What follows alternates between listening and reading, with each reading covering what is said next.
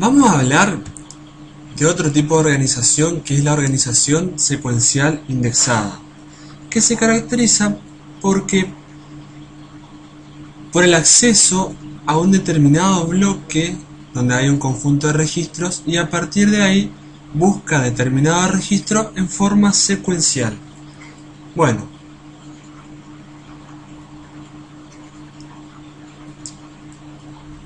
esto me parece un poquito complicado, vamos a verlo en detalle.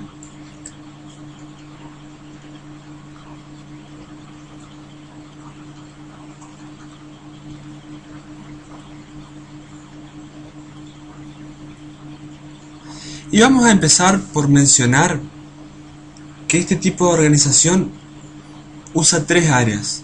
Si te acordás del video anterior, la organización indexada como tal constaba de dos áreas. Un área primaria o el área de los datos, en donde vos realmente guardabas los registros, y otra área indexada que constaba de un índice, de un conjunto de índices que era mucho más chico que la otra tabla o que el otro área, donde vos te ibas a buscar la clave del registro que querías acceder. De esa forma accedías directamente a la dirección del registro que se encontraba en el área primaria. Bueno, en la organización secuencial indexada vamos a tener también el área primaria y el área de índices, pero vas a ver que hay un área más. Entonces, seguimos teniendo el área primaria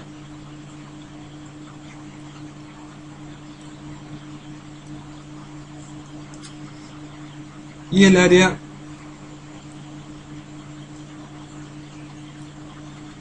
de índices.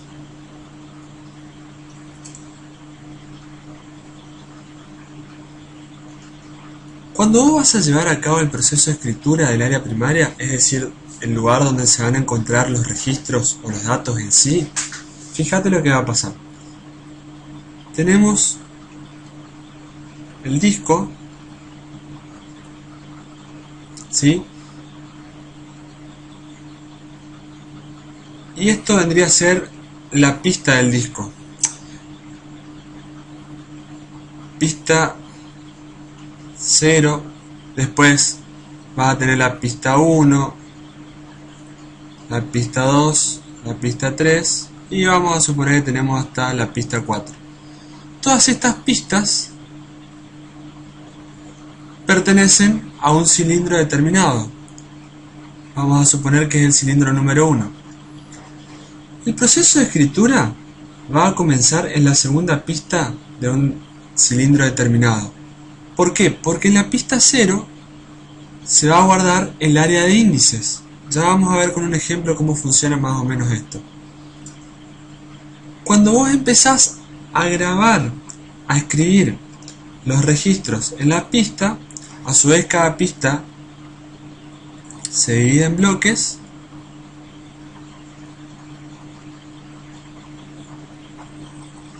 y los bloques en sectores. Pero bueno, cada bloque contiene un conjunto de registros ¿Sí? ¿Estamos hasta ahí?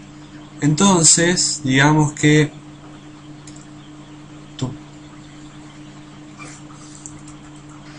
Voy a dibujarlo mejor, un poquito más redondo. Tu pista sería esto. Vamos a ejemplificarlo nada más.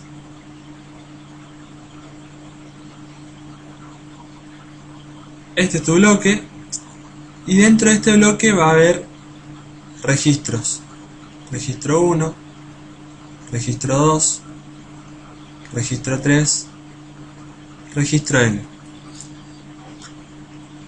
La escritura de estos registros se va a hacer en forma secuencial, ¿sí? uno al lado del otro, uno seguido del otro.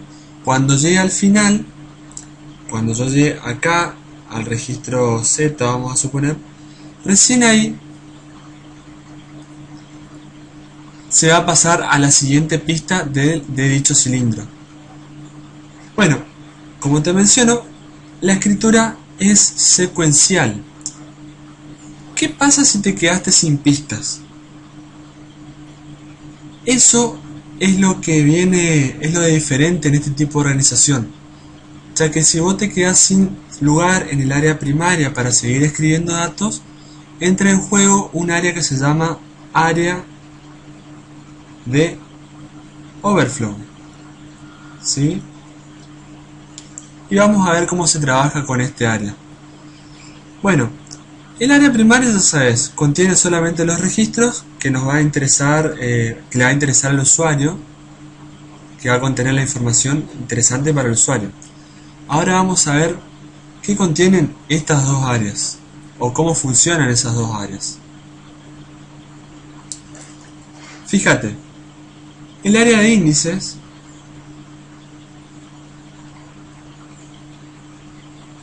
va a contener algunos índices hacia los registros que están en el área primaria de datos.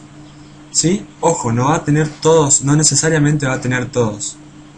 Este área de índices, como te mencioné, se almacena generalmente en la pista 0 de cada cilindro. Y cada entrada del área de índices va a tener dos, dos datos la dirección de la pista, de la pista 1, de la pista 2, de la pista n, y va a tener la clave mayor que se encuentra en esa pista. Fíjate esto. Vamos a suponer que tenemos un área primaria con estos, con estos valores. Yo lo voy a adelantar para no perder tanto tiempo escribiendo. Y te voy a explicar en qué consiste cada campo. Bueno, este es mi área primaria. Lo puse así, fíjate, cada cliente tiene un código cliente que va a ser la clave que vamos a usar para, para acceder a cada registro y tiene estas particularidades. Yo lo voy a poner así, lo voy a remarcar con un círculo para identificar que en cada uno de estos comienza eh, un, nuevo, un nuevo bloque, ¿sí? Del 1 al 3 pertenece a un bloque, del 4 al 6 pertenece a otro bloque y del 7 al 9 pertenece a otro bloque. En el área de índices,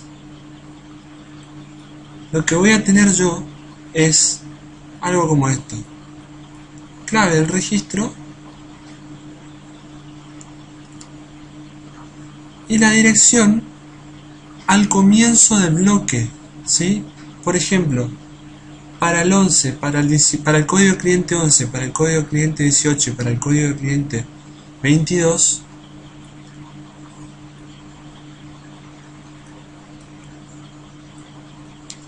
yo voy a tener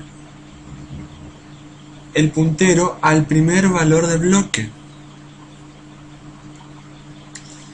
Si yo por ejemplo quiero acceder al registro 22, lo que voy a tener que hacer es fijarme la dirección o el puntero al bloque, accedo al bloque y a partir de ahí lo recorro secuencialmente, ¿sí? es decir, en orden ascendente. Pero por ejemplo, si tengo acá el registro 46, pongo la dirección 7 y a partir de ahí recorro este bloque en forma ascendente. ¿Sí? Con lo cual es mucho más rápido que un archivo secuencial, ya que vos no tenés que acceder registro por registro hasta encontrar el registro que vos querés, sino que accedes en primer lugar al bloque, a este bloque, y a partir de ahí lo haces secuencialmente. Ahora vamos a suponer que cada bloque puede contener solamente tres, eh, tres registros. ¿Qué pasaría si vos querés poner eh, acá un código de cliente 43? Acá no lo puedes meter. Ese cliente va a ir a parar a un área especial llamada área de overflow, que es el área que te mencionaba hace un ratito.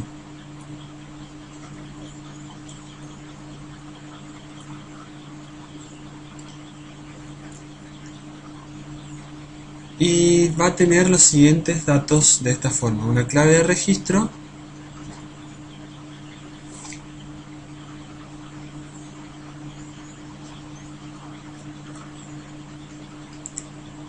y va a tener los datos como código de cliente, nombre y teléfono.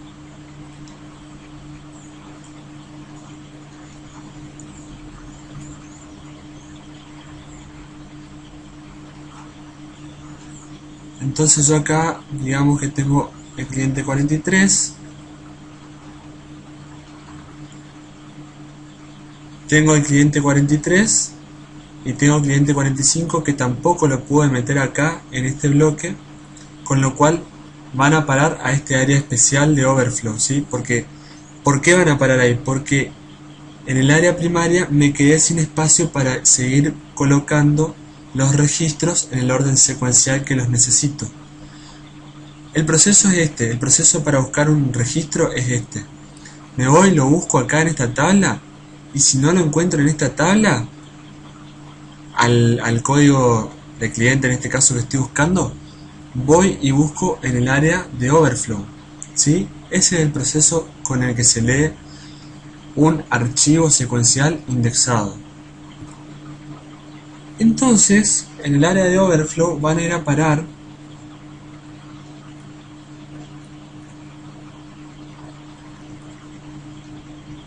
Todos los registros que no pueden ponerse en el área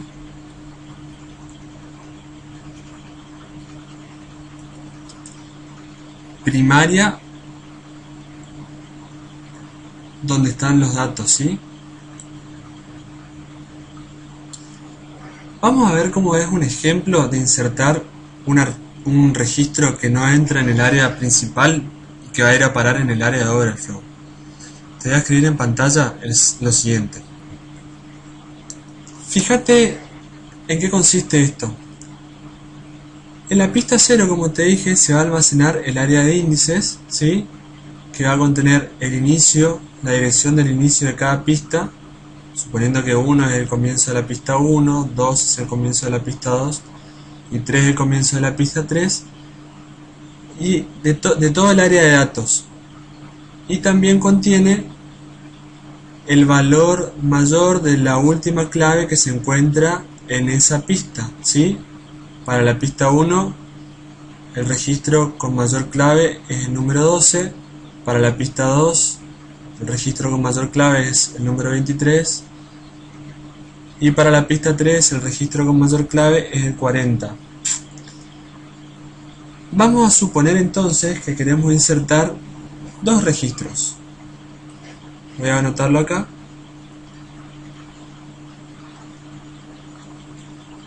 Queremos insertar el registro número 7 y 38. Es decir, el, registro 7 lo vamos a tener que insertar acá, el 38 lo vamos a tener que insertar acá. ¿Sí? Entonces vamos a ir viendo qué es lo que pasa. El registro 7 lo voy a tener que poner acá. Voy a usar otro color y para no ir borrando esto. Y fíjate, cuando yo pongo el 7 acá, voy a tener que correr el 8 acá. Y el registro 12, con clave 12, va a ir a parar al área de overflow. Y vamos a ver cómo se arregla esto para tener una referencia a, este registro. Como yo mandé el registro con clave 12 al área de overflow, el área de índices, este valor ya va a estar desactualizado. Voy a tener que actualizarlo. ¿Cómo? Bueno, fíjate lo siguiente. Te lo voy a poner acá de otro color le voy a tener que decir que la pista 1 ahora el valor de la clave mayor de los registros que contiene es 8 y le tengo que decir que hay un registro en un área de overflow indicándole el número de pista la pista número cuatro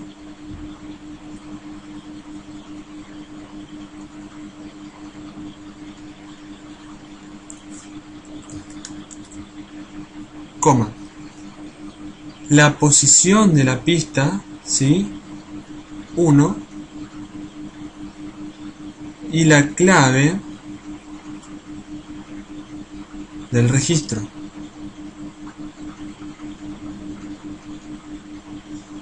Ese va a ser entonces ahora la entrada del área de índices para la pista 1.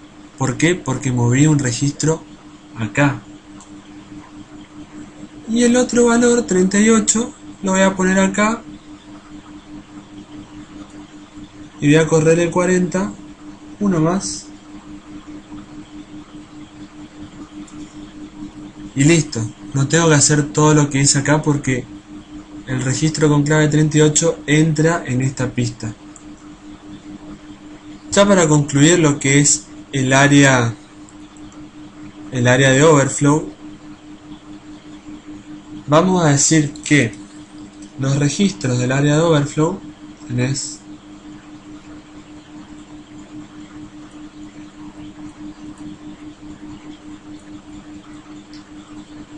se presentan de forma encadenada donde el puntero al próximo registro ¿sí?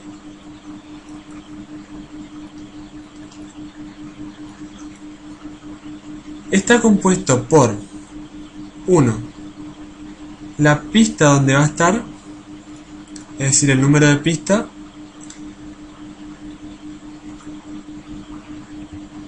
y el lugar que ocupa dentro de la pista la posición que ocupa dentro de la pista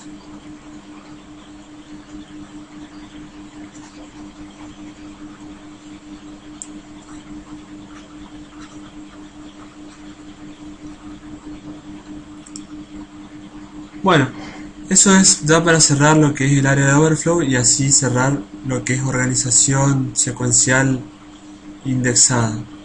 Espero que el video te haya gustado y si es así, pulgar arriba y compartirlo. Gracias.